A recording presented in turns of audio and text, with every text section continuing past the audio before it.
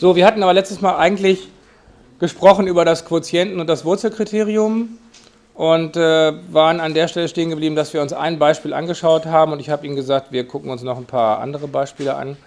Genau das tun wir jetzt auch. Also die nochmal zur Erinnerung, bei diesen beiden Kriterien geht es immer nur darum zu erkennen, ob eine Reihe konvergiert und nicht gegen was. Das ist das Erste. Und das Zweite ist, ähm, es wird hin und her gesprungen zwischen Reihen und Folgen, was nach meiner Erfahrung für die meisten die Hauptschwierigkeit ist. Sie haben eine Reihe, von der wollen Sie wissen, ob sie konvergiert.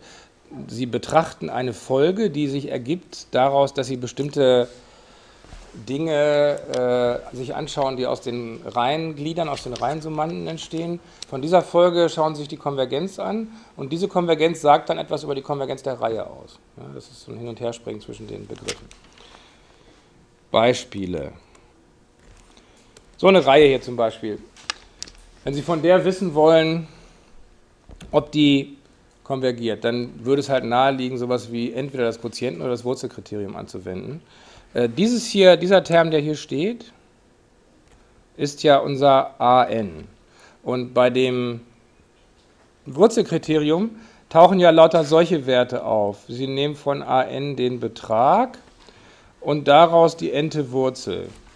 Und bei dem Quotientenkriterium tauchen solche Werte auf. Sie nehmen den nächsten Wert und den jetzigen Wert sozusagen und dividieren die durcheinander. Und Ihre erste Entscheidung sollte immer sein, welches von beiden wende ich überhaupt an. Und die hängt natürlich damit zusammen, was kann man überhaupt ausrechnen sinnvollerweise. Also gerade bei äh, Reihen, die nicht so kompliziert sind und die in unseren Zusammenhängen hier auftauchen, ist es meistens so, dass sich eine Sache mehr oder weniger anbietet. Wenn Sie sich diesen Term hier angucken und überlegen, was ist hier wohl einfacher? das sieht ja wohl so aus, als sollte man hier das Wurzelkriterium nehmen, weil hier ja schon was hoch n steht. Und daraus die ente Wurzel zu ziehen, sollte jetzt nicht so schwer sein. Ja?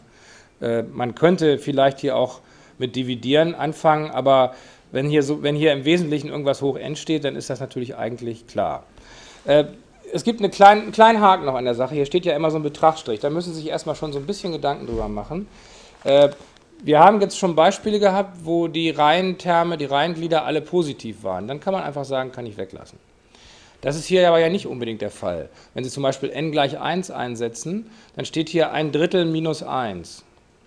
Und wenn Sie n gleich 2 einsetzen, steht hier ein Drittel minus Wurzel aus, äh, 1 durch Wurzel 2. Das sind negative Terme. Äh, was mache ich denn da jetzt? Dieser Wert hier rechts, 1 durch Wurzel n, was passiert denn mit dem, wenn n größer wird? haben Sie ja schon gesagt. Und zwar äh, wird er wirklich in jedem Schritt kleiner und nicht mehr größer. Das heißt, es dauert nicht lange, bis das, was hier rechts steht, kleiner als ein Drittel ist. Ja, warten Sie einfach, bis n gleich 9 ist, dann steht hier ein Drittel. Bei n gleich 10 ist es dann kleiner als ein Drittel. Und danach bleibt es auch kleiner als ein Drittel. Also spätestens ab n gleich 10 ist der Wert hier, der hier abgezogen wird, kleiner als ein Drittel. Das heißt, spätestens ab n gleich 10 ist der Term, der hier steht, positiv. Mit anderen Worten, fast alle Terme, die hier stehen, sind positiv. Darum brauchen Sie sich über den Betrag keine Gedanken zu machen. Das ist eigentlich immer positiv. Ja? Es geht ja nur um die Konvergenz der Folge. Aber man muss schon erstmal drüber nachgedacht haben. Ich, kann, ich will also folgendes ausrechnen: den Betrag von diesem Ding hier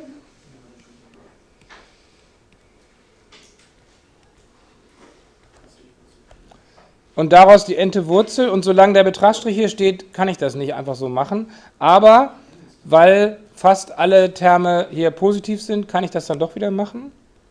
Also fast alle, schreibe ich hier mal drüber. Dann steht hier nur noch das. So, und jetzt habe ich einen positiven Term hoch n, daraus die ente Wurzel. Das hebt sich einfach auf. Also steht hier einfach ein Drittel minus 1 durch Wurzel n. Und davon muss ich jetzt mir die Konvergenz anschauen. Das heißt, ich muss gucken, was passiert hiermit, wenn n gegen unendlich geht, als Folge. Das können Sie mir sagen, ne, gegen was das geht. Ein Drittel, genau. Weil dies hier ja immer größer wird, also geht das hier gegen 0. Das geht also gegen ein Drittel. Und dieses ein Drittel ist jetzt unser Rho haben wir das genannt in dem Quotientenkriterium. Und ein Drittel ist ein Wert, der kleiner als 1 ist, woraus folgt, dass diese Reihe hier, um die es uns eigentlich ging, nach dem Wurzelkriterium absolut konvergiert. Absolut sogar. Ja? Ja? Eine, nur eine kleine Frage jetzt, wahrscheinlich fällt das aber. Wir haben bei dem Wurzelkriterium auch geschrieben, dann konvergiert die Folge für k gleich 0 bis nämlich absolut. Die fängt jetzt ja erst bei 1 an, klar, wegen kein Problem. Nee, das war ja, Sie entsinnen sich, letztes Mal hatte ich gesagt, der, der Anfangswert spielt eine Rolle dafür, was als Wert der Reihe rauskommt, aber nicht für deren Konvergenz. Ja? Also äh, es macht natürlich einen Unterschied, ob ich jetzt bei 1 oder bei 42 anfange, kommen unterschiedliche Zahlen raus, aber konvergieren tut sie entweder oder nicht, weil da der Anfang keine Rolle spielt. Das heißt ja nur, zähle ich noch irgendwas dazu oder lasse ich das weg, aber wichtig ist ja immer, was am Ende passiert. Und wie gesagt, es geht bei dem, überhaupt bei diesen ganzen Kriterien nur um die Frage Ja oder Nein, sondern nicht um den Wert, der nachher rauskommt. Den wissen wir nicht. Das hat mit diesem ein Drittel nichts zu tun. Ja, ein Drittel hat äh, nichts damit zu tun, was hier nachher rauskommt. Das sagt uns nur aus, dass es konvergiert. Dass es überhaupt einen Sinn ergeben würde, darüber sich Gedanken zu machen, was da wohl rauskommen würde. Das sollte dann aber vielleicht besser Maple mal ausrechnen.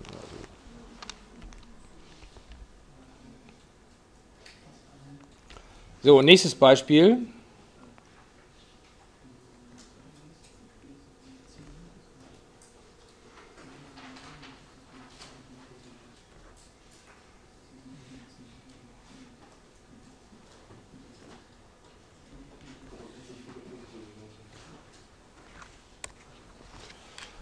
Was würden Sie denn hier machen? Genau, n zum Quadrat ist der Exponent. Auch n mal n genannt.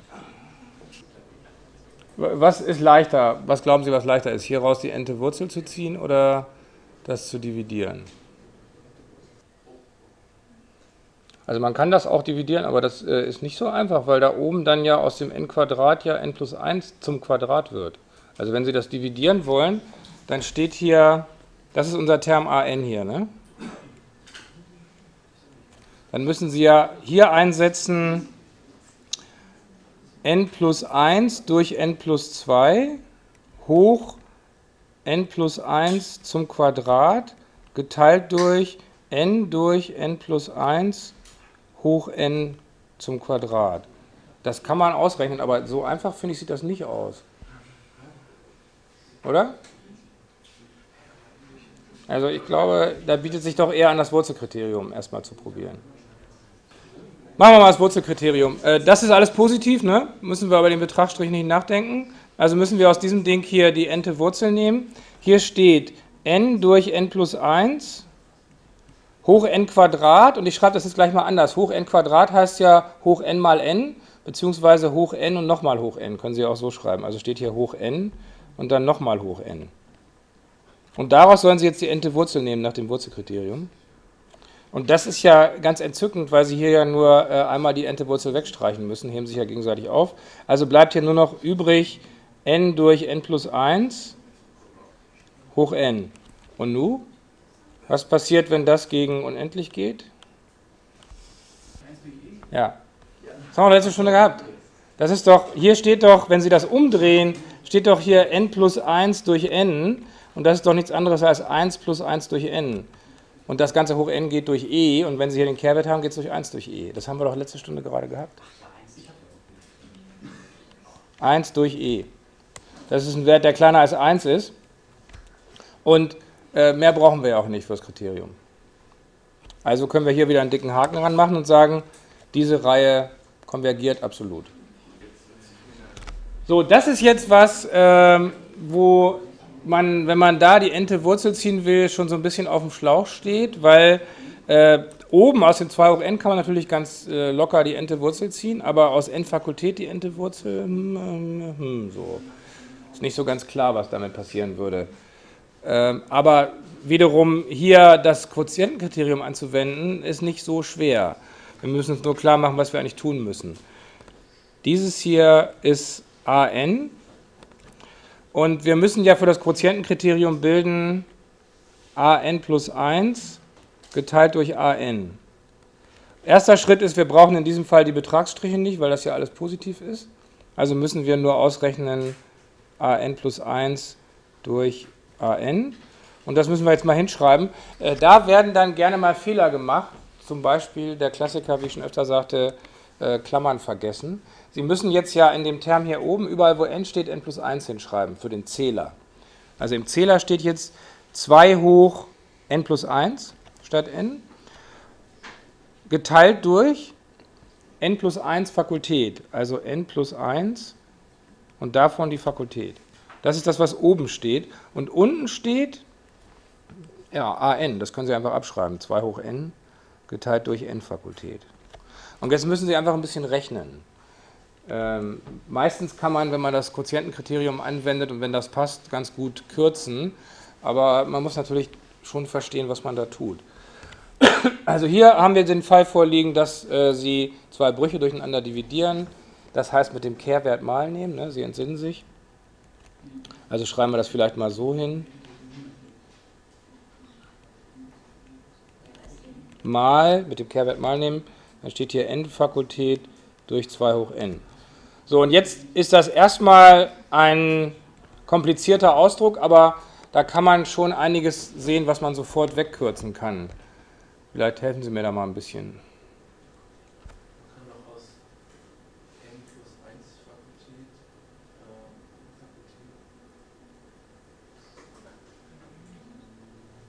Ja, sagen Sie es. Nee. Moment, man kann das nicht mehr rausziehen. Ja, dann bleibt eigentlich nur n plus 1 übrig, weil der Rest ja durch die Fakultät ausgegangen Genau. Also ich schreibe es nochmal auf zwei verschiedene Arten hin, damit Ihnen das klar ist. Die eine Möglichkeit ist, sich klar zu machen, als wir über die Fakultät zum ersten Mal gesprochen haben, haben wir gesagt, man kann die auch rekursiv definieren. Also n plus 1 Fakultät ist n plus 1 mal n Fakultät.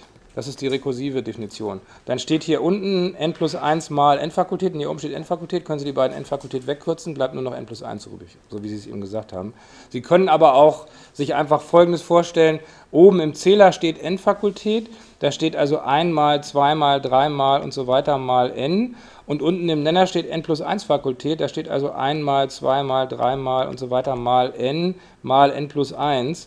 Und die können Sie natürlich alle gegeneinander kürzen. Die 1 gegen die 1, die 2 gegen die 2, die 3 gegen die 3 und so weiter bis zum n. Dann bleibt auch nur noch n plus 1 übrig. Also wie immer Sie das machen, Sie können das gegen das kürzen und dann bleibt hier nur noch n plus 1 stehen. Mit Klammern natürlich. Also unten haben wir schon mal n plus 1. Aber wir sind ja noch nicht fertig. Diese beiden können wir sicherlich auch noch irgendwie kürzen, oder?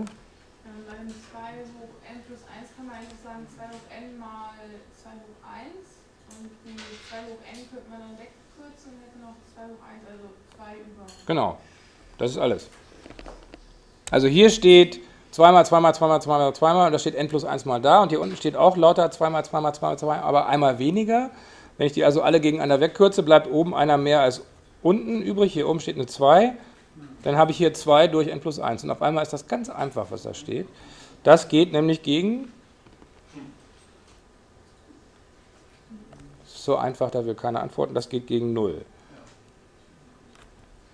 Und das ist kleiner als 1. Also konvergiert das. Na? Und weil es so schön ist, machen wir noch einen. Äh, 2 hoch n mal n-Fakultät durch n hoch n. Uh. Welches Kriterium sollen wir nehmen? Was schlagen Sie vor?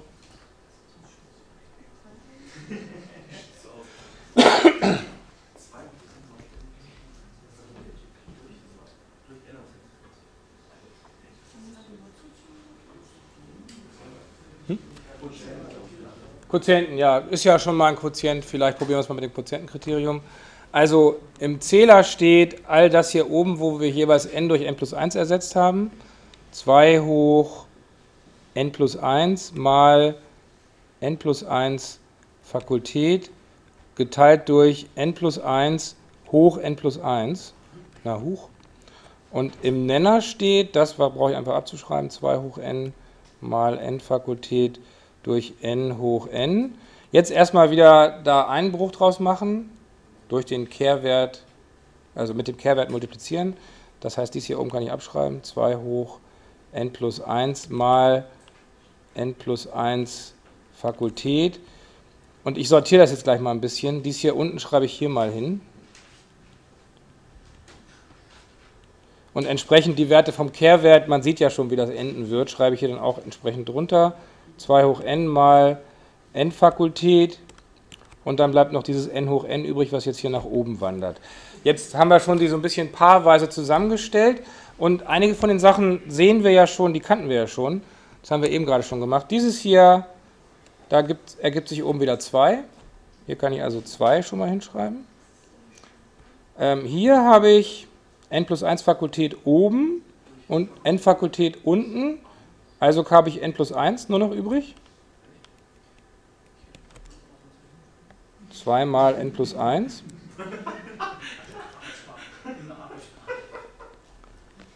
Aber hier, das wird jetzt ein bisschen schwieriger. Was würden Sie denn hier sagen, was man damit machen kann? Machen wir es doch.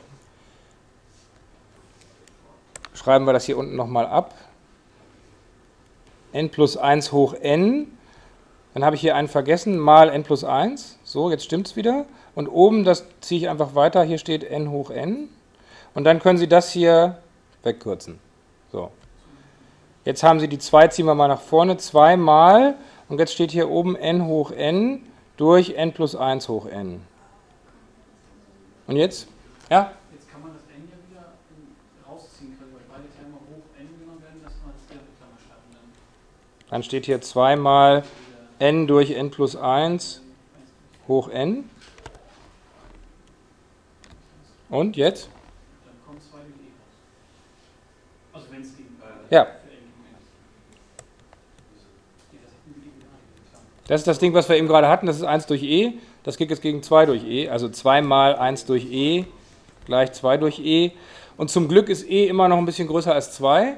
Also geht das Ganze auch gegen einen Wert, der kleiner als 1 ist. Hat auch gerade noch so geklappt. Ja? Jetzt machen wir mal eins, wo es nicht klappt. Es ist gar nicht so leicht, für diese Kriterien Beispiele zu finden, wo es nicht klappt, bei denen man nicht sowieso schon gleich sieht, dass es nicht klappt. Äh, aber das kann natürlich im Prinzip gar nicht schaden. Äh, wenn Sie Beispiele haben wollen, wo es nicht klappt, dann ist zum Beispiel, äh, können Sie hier einfach umdrehen. Ja? Ganz simpel. Äh, dieses Ding hier, 2 hoch n durch n Fakultät, wenn Sie stattdessen das hier betrachten, n gleich 0 bis unendlich, n Fakultät durch 2 hoch n. Jetzt wenden Sie wieder das ähm, Quotientenkriterium an, genau wie eben, machen genau die gleiche Rechnung wie eben. Dann kam ja bei dem hier oben eben raus, dass das, ge- konvergi- dass das geht gegen 2 durch n plus 1. Wenn Sie jetzt die ganze Rechnung umgedreht durchführen, dann geht das gegen n plus 1 durch 2. Also es konvergiert nicht mal. Darum, nach äh, Quotientenkriterium konvergiert die Reihe nicht.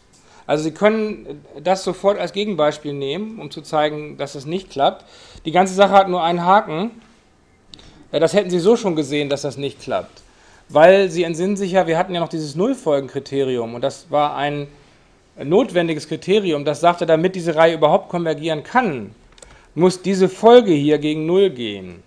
Und dass diese Folge hier nicht gegen Null geht, das wissen wir ja schon. Weil oben der Zähler, die Fakultät, schneller wächst als unten das 2 hoch n. Wissen Sie noch? Das haben wir vor einer Woche mal gehabt. Hier oben steht einmal, zweimal, dreimal und so weiter bis 100 und hier unten steht zweimal, zweimal, zweimal, 200 mal und das wird natürlich oben immer größer als das unten. Darum, dies da, was ich jetzt hier blau eingekringelt habe, als Folge betrachtet, ist keine Nullfolge. Darum brauchen Sie dann gar kein Quotienten- oder Wurzelkriterium mehr. Können Sie sofort sagen, das brauche ich gar nicht mehr weiterzurechnen, das kann gar nicht konvergieren. Ja?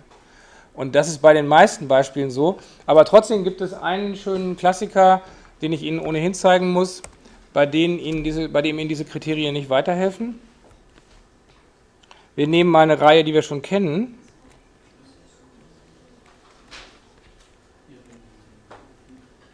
Das ist wichtig, das mal gesehen zu haben. Ähm, die harmonische Reihe ist ja die hier. Von der wissen wir schon, dass sie nicht konvergiert. Aber wir können jetzt ja mal testweise auf diese harmonische Reihe das Quotientenkriterium anwenden. Nur mal so spaßeshalber. Quotientenkriterium. Also ich schreibe hier nochmal hin, harmonische Reihe. Und in Klammern zur Erinnerung, dass die nicht konvergiert, Das machen wir jetzt also nur als Test. Und ähm, jetzt, wenn wir das Quotientenkriterium anwenden wollen, dann würden wir sagen, das, was hier unten steht, ist unser AN. Das heißt, wir würden jetzt ausrechnen AN plus 1 durch AN. Betragsstriche brauche ich nicht, weil das alles positiv ist. Also muss ich hier oben hinschreiben 1 durch n plus 1. Und hier unten muss ich hinschreiben 1 durch n. Mit dem Kehrwert mal nehmen, dann habe ich hier n durch n plus 1. Und das geht gegen, gegen 1. Das ist doch das Ding, haben wir schon mehrfach gesehen, dieses Ding, aber ich schreibe es Ihnen nochmal anders hin, dann sieht man es vielleicht deutlicher. Das hier ist doch dasselbe wie n plus 1 minus 1 durch n plus 1. Und dafür können Sie doch schreiben 1 minus 1 durch n plus 1. Und dann sehen Sie, Sie haben 1 minus einen Term, der gegen 0 geht. Und das Ganze geht natürlich gegen 1. Ja? Und das Quotientenkriterium, das Gemeine am Quotientenkriterium ist ja, wenn der Grenzwert, gegen, das hier geht, gegen den das hier geht, kleiner als 1 ist, dann konvergiert die Reihe. Wenn der Grenzwert, gegen den das geht, größer als 1 ist, konvergiert sie nicht. Wenn der Grenzwert 1 ist, sind wir wieder beim Start und wissen gar nichts. Und das ist genau hier der Fall. Also wir können in diesem Fall an dem Quotientenkriterium gar nichts erkennen. Wir wissen zwar schon, dass sie nicht konvergiert, aber das Kriterium hilft uns nichts. Und man sollte nicht den Denkfehler machen zu sagen, diese Werte, die hier stehen, die sind ja alle kleiner als 1, das reicht nicht, wie Sie an diesem Beispiel sehen. Es geht um den Grenzwert und der ist eben nicht kleiner als 1. Ne? Zum Spielen mal ein paar Reihen, bei denen Sie jeweils entscheiden sollen, ob die konvergieren oder nicht, mit den Methoden, die Sie bisher gelernt haben. Ich will die jetzt nicht nochmal alle vorrechnen, aber ich sage nochmal kurz was dazu. Die ersten beiden konvergieren beide und in beiden Fällen, weil, das, äh, weil ich so nett bin, äh, hätte man die sowohl mit dem Quotienten als auch mit dem Wurzelkriterium machen können. Hätte beides funktioniert. Ähm, aber vielleicht können, kann mir einer von Ihnen noch mal sagen äh, zur dritten irgendwas. Hilft Ihnen nicht, ne? Leider. Aber wie gesagt, man kann daran sehen, äh, dass es nicht gegen Null geht, dass man das gar nicht weiter untersuchen muss.